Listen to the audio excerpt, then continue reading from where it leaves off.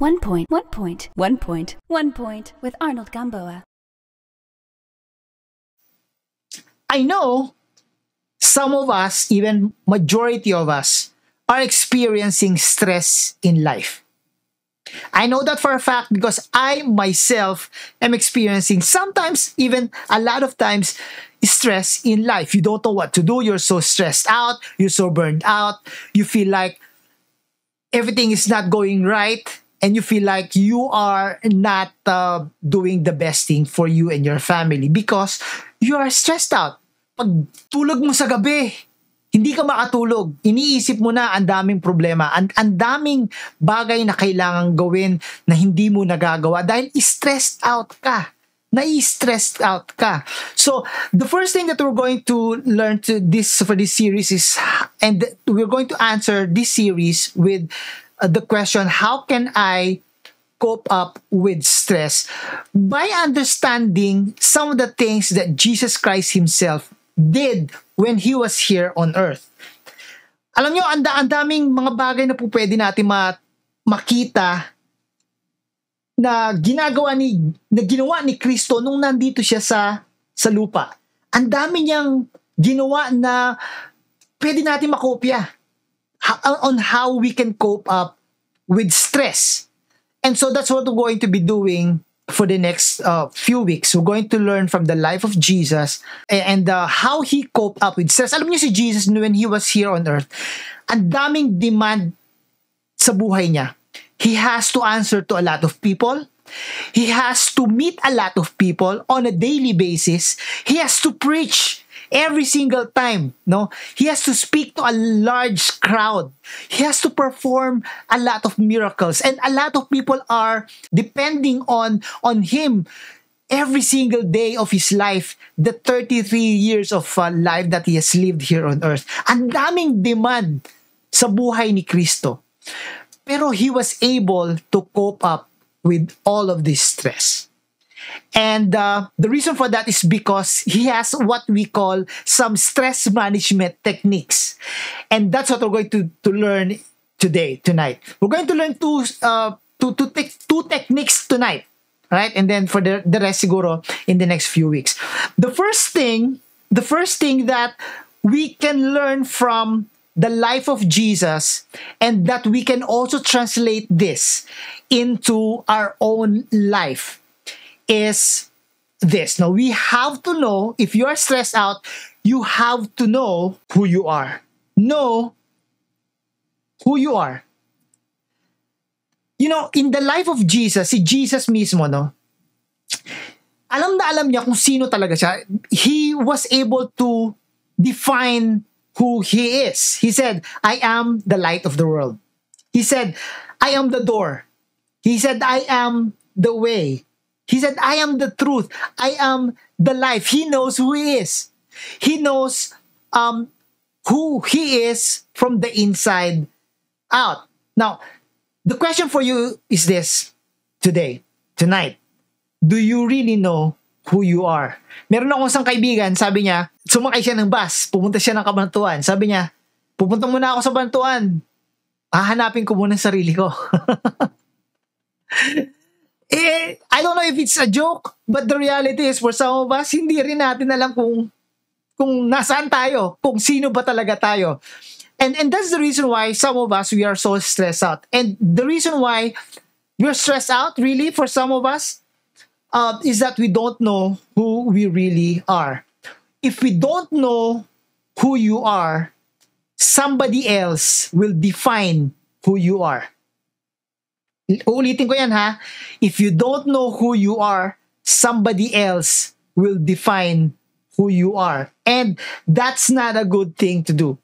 Because some people who doesn't know who you are will define the person that you should you, who they think you should become and what will happen you will be manipulated to become who other people think that you should become that you really are not hindi naman ikaw yon pinipilit ng mga tao na maging ikaw yon kasi tingin nila ikaw ay dapat ganito they will manipulate you to become who you are at ano ang mangyayari kapag ganon you will have insecurities in life Insecurity kasi pakiramdam mo hindi nangyayari sa buhay mo yung pakiramdam mo sinasabi ng tao na dapat mangyari sa buhay mo.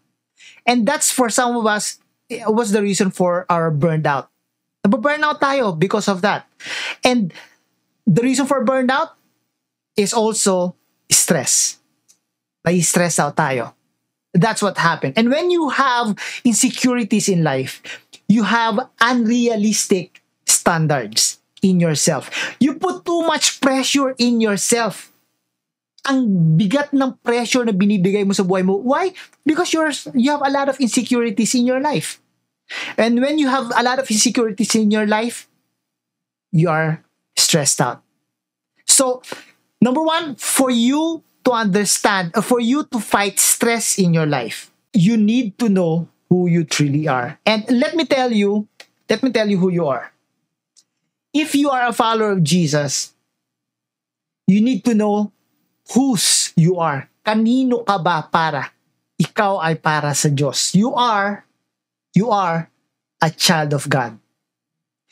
Your value, your value is determined. Your value is determined not by the people around you, not by the people who try to manipulate you to become who you are.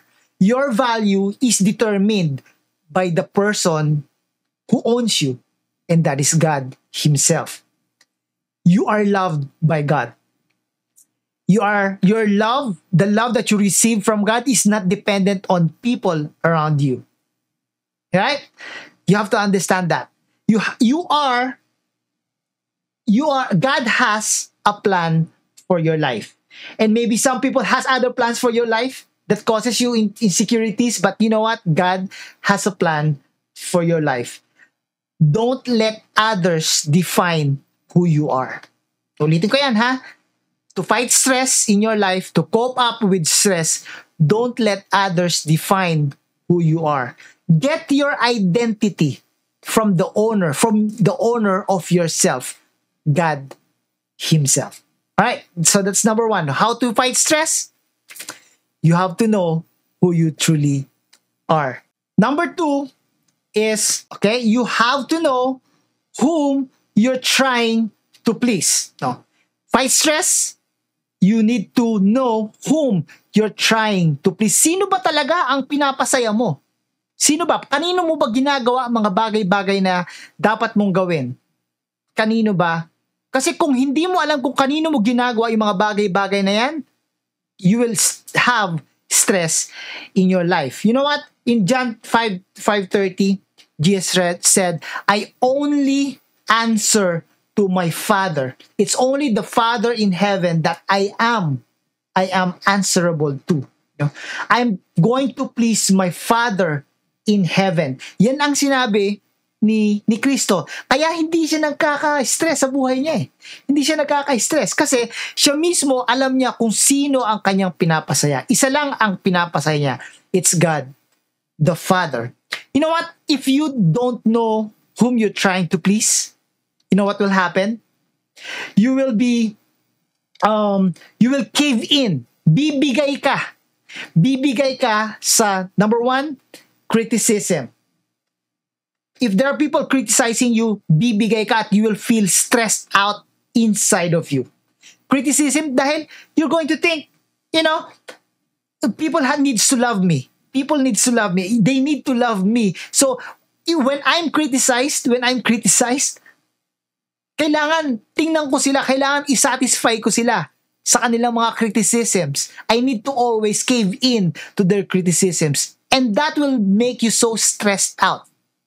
Di ba? Pag kinikriticize ka sa isang tao, gusto mo palaging baguhin to sa buhay mo. Hindi mo alam kung yung palang uh, criticism na yun, na yun ay constructive criticism. Kasi alam niyo, pwede naman tayo makinig sa mga constructive criticisms. Pero uh, if you are not careful, you're also cave into criticisms that are not supposed to be given uh, to you uh, with with you with you in mind, with your benefit in mind. May mga tao kasi na nagki-criticize lang just for the sake of criticizing criticizing you. And and when that happens, you will cave into criticisms. Number two, you will cave into competition. Kasi you will be worrying kasi others will be are better than you. You know, may mga competition na nangyayari sa buhay natin. If you're a student, you're competing with others. Nangyari sa akin to nung nung um, nung bata ako eh nanonood ng nanay ko, yung nanay ko magaling mag-pressure nung bata ako eh. Kailangan maging first honor ka. Ganon. So, pressure na pressure ka ngayon, you feel stressed out. You feel stressed out. Kasi you, you are competing with others. You're competing with others. And then, if you don't know whom you're trying to please, you will cave into competition. Kasi ano mangyayari, gusto mong labangan ang mga tao sa buhay mo na alam mo ay mas lamang sa'yo others are better than you and you're worrying about it because you are they are your competition. Yan ang problema pag you, you don't know who's you're trying to please. And lastly you'll cave in to conflicts. You cave in to conflicts. Kasi whenever there's conflict there's always a disagreement And when there's disagreement, you don't know whom you're trying to please, you always cave in. Bibigay at bibigay ka palagi pagka may conflict. palaging palagi kang ma, ma magkakaproblema sa sa buhay mo. Palagi kang may stress out kasi pag may conflict worried ka palagi. Hindi ka confident. Hindi ka confident kasi hindi mo alam kung sino ang piniplease mo. Hindi mo alam kung sino ang pinapasaya mo sa buhay mo. Don't allow others to pressure you to do things that you're not supposed to do. Don't allow others. Wag mong wag mong wag ka magpa-pressure sa ibang tao sa mga bagay na alam mo naman na hindi mo kailangan gawin kasi you're not trying going to try to please everyone. You're not supposed to please everyone. Ito ang sinasabi ng isa sa mga paborito kong pastor, si Craig Groeschel. Sabi ni Craig, you can't please everyone but you can please God. Ulitin ko ha, you can't please everyone, but you can please God. If there's any one person that you need to please, it is God. If there's someone that you need to think to please that person, it has to be God. And I'm not saying you you're, you're not supposed to please your parents or you're not supposed to please your your husband or your wife or your kids. I'm not saying that. Of course, you can, but but the reality is that you can't please everyone. You cannot please everyone.